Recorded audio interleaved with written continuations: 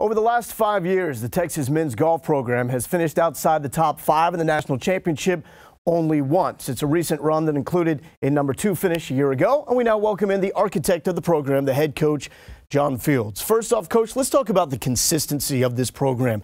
What is it about what you have built that allows this group to be perennial contenders for the national championship? Well, it's a combination of things, but it starts with the players.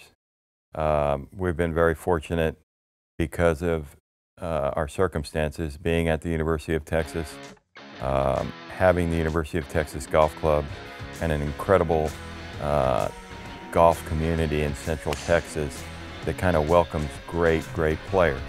Um, I've told our guys before, you, you can't win championships without great players. And it's our job as coaches to help them prepare.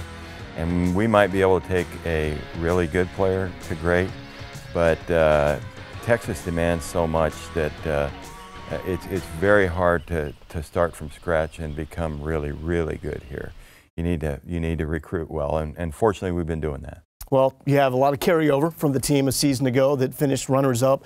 Three guys that will now make their return to the national championship after playing in that spotlight a year ago. But I know every year, every team, that team dynamic is different. So, what makes this group unique?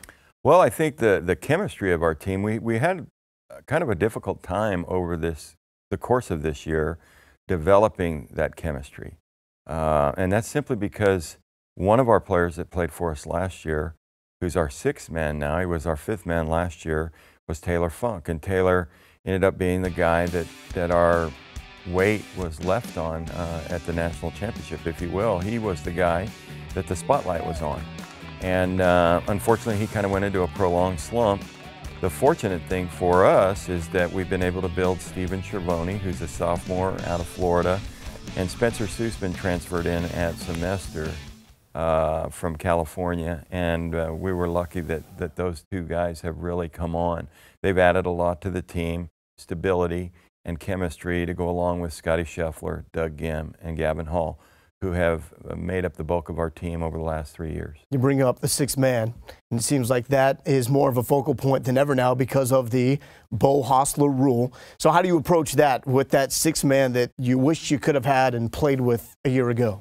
Well, the nice thing uh, with the national championship in Chicago, uh, the NCAA has uh, come up with what's called the Hostler rule now. So, in match play, you can substitute somebody if somebody gets hurt. And uh, so that's a good thing. Uh, Taylor Funk will be our sixth man. Uh, he won't be on site unless necessary. Okay. Um, but uh, he, he's on call and he's practicing and working hard. How does the course play? Very, very difficult. Uh, if any of the viewers have been watching uh, the, the women's championship, they will see that the golf course is tuned up. It's Midwest, bluegrass rough that's probably this high, probably going to be laying over by the time we play it and um, the, the high value will be there. Who's the biggest character on the team? Who keeps things a little light when things are going to get a little stressful, as I'm sure they will in that national championship environment? Well, it's, it's one of two people. It's either Spencer Soosman, who is our new freshman, who is uh, he's a character for sure. Uh, but all the guys love him and appreciate him, and he's one of those young freshmen that you can uh, rib and, and give the business to, and it just rolls right off his back, and he keeps smiling. And then our assistant coach, John Paul Hebert, does a great job, keeps things loose.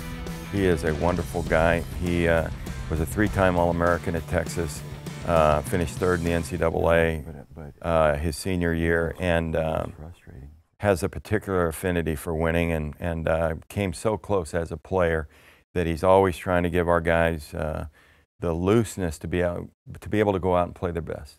Finally, do you expect any Gators on the course in Illinois? Because no. I know a guy, and you know a guy as well. Well, Cody Gribble is one of the one of the great people that played at Texas for us. Uh, for us, I, I, love that guy, and I probably would prefer that he not play with Gators, but uh, he is. Uh, What's he doing here, Coach? having fun. Was he always having that fun. cool? Yes, yes. Absolutely. Cool under pressure, uh, knows where he stands in, in different situations. Uh, we love that guy. Well, we look forward to staying away from the Gators and seeing a lot of birdies. We appreciate the time and good luck in that national championship. Thank you. Thank you, Lowell.